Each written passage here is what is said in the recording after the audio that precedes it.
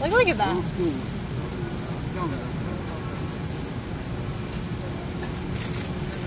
It's a video.